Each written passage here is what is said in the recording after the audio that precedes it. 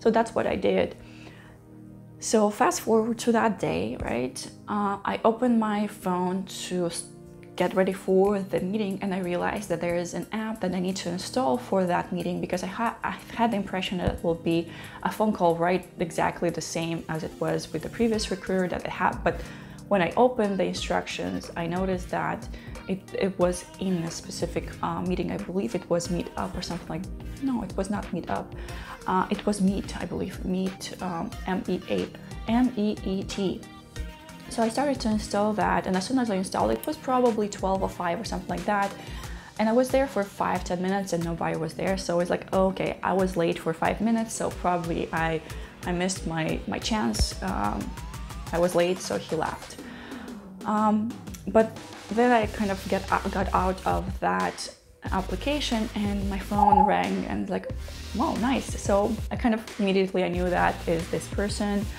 So I started to talk with him. It's this, he's, um, I think he's the head of recruitment at Google, um, who's based in California, but I'm not quite sure because in the videos, uh, like links to the videos that they sent to me, in the titles I saw that that's him, I saw his name and I saw his title and I believe he's the head of recruitment at, at Google. So we started to chat, he asked me where I am, what I'm doing, what is my background, what is my availability for the interview. Also, he walked me about he walked me through the process. What is the process? What is the Google interview process? He told me that it's five interviews. Probably it will start at this time and probably will end at this time and so on. So he asked me when am I available. Right away, I told him exactly the same thing as I told the previous recruiter that this is what's happening and I will be available a week and a half from now or something like that. I don't remember exactly how long it was that I had. So, and we agreed on that in two weeks we will have something set up. So uh, we hang up. Right away, I get an email from him saying, Thank you for chatting with me. I'm sending your information for the coordinator to schedule your, your on site interview and I'll let you know as soon as I have the information um, available. And we left it at that. And probably for a week or so, a week, yeah, probably it was a week, I didn't hear anything from him. And I was not worried. Um, and practically it was because I was super busy. I didn't have time and time was flying so fast that I didn't even realize that it was about a week since we last chatted. And at the same time, I thought maybe that's their process. Maybe it takes so long uh, in order for an interview to be scheduled because it's so big and has so many interviews, Google interviews a lot of people, right? So then later I get an email from him, it's about a week later, he's saying, sorry, um, it seems that I made a mistake. It seems that I didn't send your information to be scheduled for an interview. It seems that I forgot to submit it or something like that. And he said that he already did that right away. And I believe right next day or the day after, I got an email from another person at Google, and I believe uh, she's an event coordinator, not event, interview coordinator at Google. And she asked me when I'm available. I told her my availability. And in a week, no, that was a week, I'm saying, in, in a day, I got email from her asking me if I'm available for an interview uh, Friday 18th, October Friday 18th of, of October. Yeah, it was October 18th. And she asked me if I can be there in California in Mount View Google Complex for the interview. Send me the address um, and the time that it will start at 10 and it will end at 3. So that's basically the information I got. And also she included, if you have any questions about the transportation or how to get here, please let me know. So I kind of uh, took her up on that offer. I told her, since you are doing this as a professional, every, on a regular basis, you know the best routes, the best practices, how do I get there the best? She actually told me, um, as soon as you confirm your uh, interview date and time, uh, I'll get um, an email from their um, tra travel agents um, and we will set up an interview, uh, all the logistics, all the travel, and all the accommodation that I need for me to get to their to the interview. But first, I needed to fill out two forms, and that form was an, an NDA form and some another form. I don't remember exactly. Oh, it was about um, your recommendation. So you needed to have three people that they can reach out to talk about on your behalf to see who you are and who you are, what you are about, and stuff like that, and stuff like are you allowed to work in the United States? Do you, do you require a visa or not? So that kind of information I needed to fill in. So as soon as I have that um, submitted to her, I got an email from the travel agent saying the information, here's the phone number, here's your confirmation um, ID. Please call us from uh, this number from let's say it was 8 a.m. until 5 p.m. Pacific time uh, zone uh, to set up your travel um, travel plans. So that's what I did. I didn't call them that day. I called them the next day, and um, it was a really nice experience. The lady was really friendly. She asked me when do I want to travel, and she recommended for me to travel uh, Thursday evening because the interview is at 10 and the flights that were there available I will not not make it in time. So the flight was the Thursday evening and she asked me when I want to come um, return back. I said if it's possible that Friday night because I wanted to be back as soon as possible with my family. And that's what we did. Uh, we scheduled the Thursday evening a flight out from Seattle to California from Seattle to California, San Jose. Um, and it was from 5 p.m. and I was I got there probably at 8 p.m. Yeah, and also she scheduled a hotel, actually reserved a hotel for me, um, probably 20 minutes away from the Google campus, and scheduled the time uh, to fly back. It was the Friday after the interview and it was at 7 in the evening. So it, get, it got me plenty of time to, um, to get to the airport after the interview.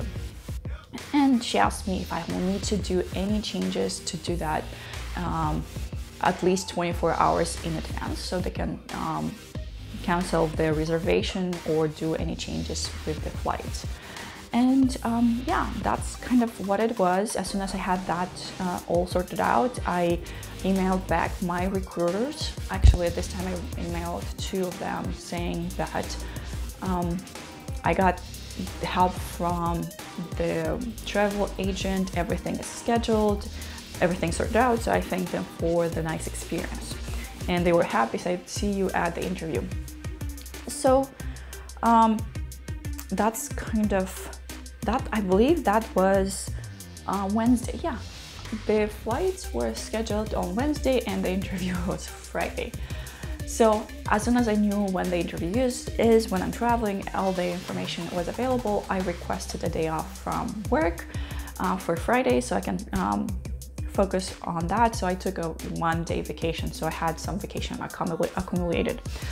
So Thursday, the day when I needed to, to fly out, I worked for probably half a day. Yeah, I, it was a little bit more than half a day.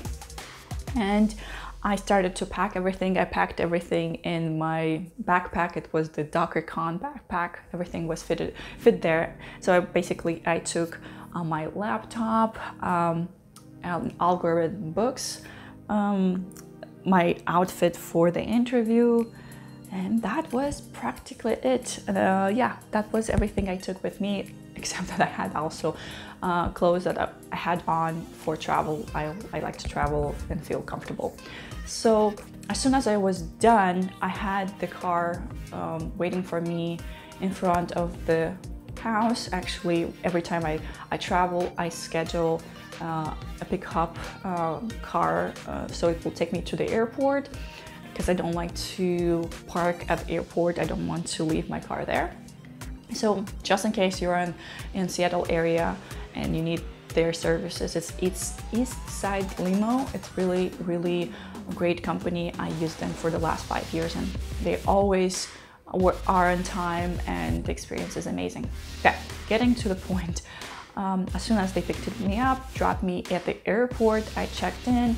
I flew in with no events, all normal, right? Got in from Seattle to San Jose. I got an Uber, uh, checked into the hotel. When I checked in at the hotel, they knew who I am. Uh, they knew that I'm there with Google, so they handed me this Google. See, is that it?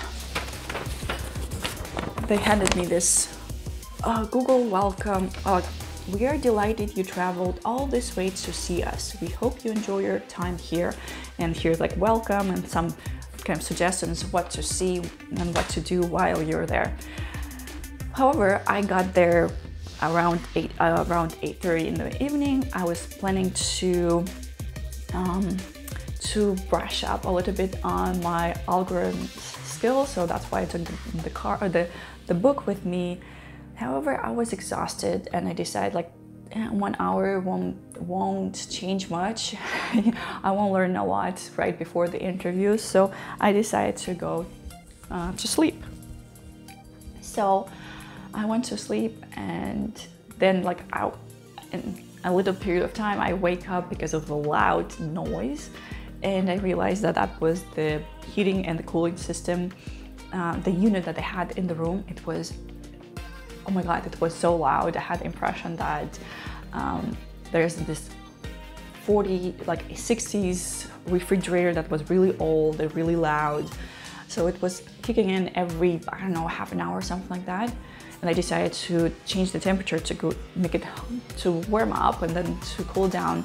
And still it was, um, it was kicking in and um, I, I was trying to turn it off. I could not figure out how to turn it off. So yeah, the night was kind of rough. I could not, I didn't have a good night's sleep because of that thing that was waking me up all night. But uh, let's look at the bright side. I got up, I was excited, I was nervous at the same time, and I was preparing myself for what is to come. So I had my clothes ironed on, I put them on, I called an Uber about nine o'clock. I checked the Google Map to see how far is, how long it should take me to get there, and it was about 20 minutes. Once I got in an Uber, we were driving there, and the traffic was horrible. I'd say at nine-ish something, the traffic was still bad. On the way in, I was just exploring the areas. Pretty much Silicon Valley is not much different than the area where we are.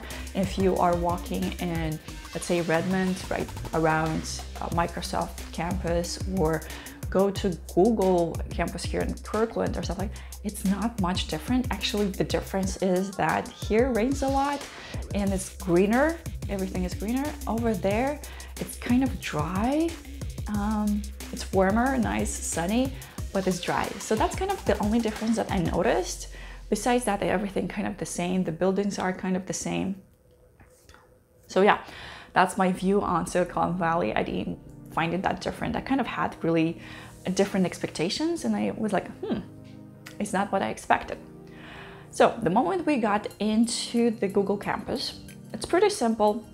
Just two, three level stories, all had huge bright colors for the buildings and the famous um, bicycles, Google bicycles and all that stuff. As soon as uh, we got into the building that I was told to go and I had, in advance I was told that I will have to have um, a photo ID um, document so they can uh, see and verify that's me. I had everything with me. So as soon as we got to the building where I was supposed to be, um, also, I was recommended to be there 15 minutes before my interview. So my interview is at 10. So they asked me to be there at 9.45 and I got on time there.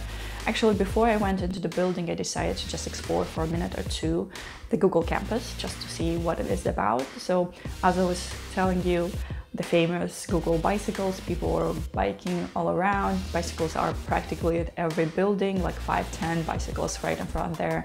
And also a lot of outside, outdoor sitting arrangements. They were hammocks, um, chairs, and like a lot of different stuff that were really colorful and nice. Also, I noticed there was a tennis court, a golf, mini golf. Um, what, what did I else I noticed? Oh, yeah, there was um, a volleyball, the beach volleyball with sand and all that stuff. So it was pretty neat and cool. I really like that aspect of it. So as soon as I kind of looked around for a minute or two, I went into the building. If you find this valuable, feel free to like it. If you haven't subscribed yet, please consider to click that red button to subscribe and also the notification bell to get notified when I'm putting the next video, like just the next part of this video because it will be multiple parts, right? And if you have any questions or any clarifications that you want to hear, feel free to add them in the comment section below and I'll do my best to answer those. Thank you again and see you next time. Happy engineering! Bye bye!